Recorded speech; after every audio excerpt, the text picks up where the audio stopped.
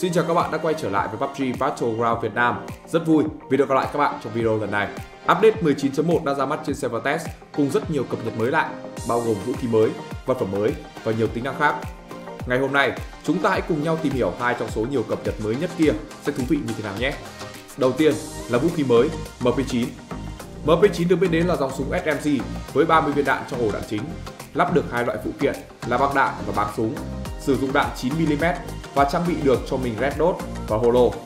MP9 chỉ xuất hiện tại bản đồ Destin. MP9 là khẩu súng có độ giật có thể gọi là hoàn hảo. vì anh chàng này chỉ giật dọc là chủ yếu. Độ giật ngang cũng có nhưng không hề đáng kể. So sánh với P90, chúng ta có thể thấy hai vũ khí này khá tương đồng nhau.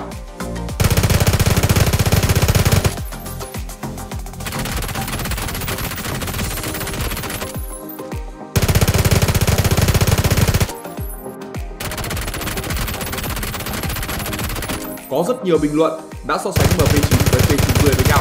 Chúng ta hãy cùng nhau đi tìm hiểu xem thực hư như thế nào nhé. Tổng quan về 4 chỉ số, sức mạnh, phạm vi hiệu quả, độ ổn định và tốc độ bắn thì hai vũ khí này có thể nói là kẻ tám lạng, người nửa cân. Khi sức mạnh và tốc độ ra đạn của MP9 có thể yếu hơn một chút, cũng có thể dễ hiểu vì P90 nằm trong thính và dùng một loại đạn riêng. Trong khi đó, MP9 chúng ta hoàn toàn có thể nhặt được ở ngoài bản đồ Destin. Nhưng hãy chờ một chút, MP9 còn có thể lắp thêm phụ kiện mà, đúng không? Khi lắp phụ kiện thì sẽ có chút thay đổi nha. Khi có phun cho mình phụ kiện thì độ ổn định của MP9 sẽ giảm xuống một chút và đi cùng với đó là tốc độ bắn sẽ được cải thiện đáng kể. Cụ thể là mắc công suất luôn. Và chúng ta cùng so sánh thử MP9 với các con hàng SMG khác khi phun phụ kiện và nguyên zin sẽ như thế nào.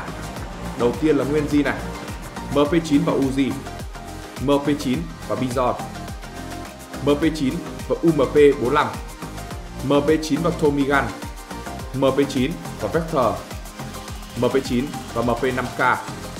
Tiếp tục, hãy đến với full phụ kiện nào. MP9 và Uzi, MP9 và Bizon, MP9 và UMP45, MP9 và Tomigan, MP9 và Vector, MP9 và MP5K.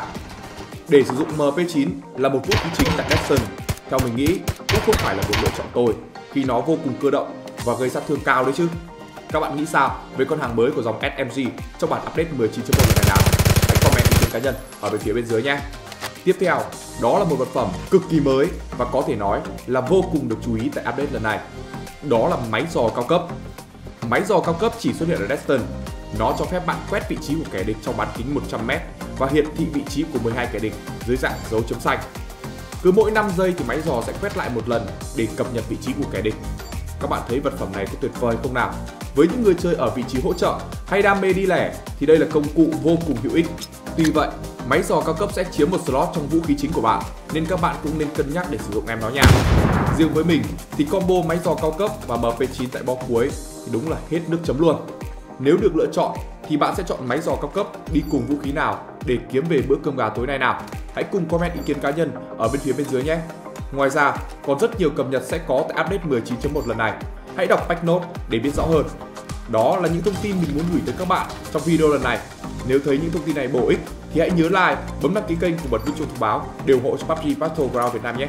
Xin chào và hẹn gặp lại.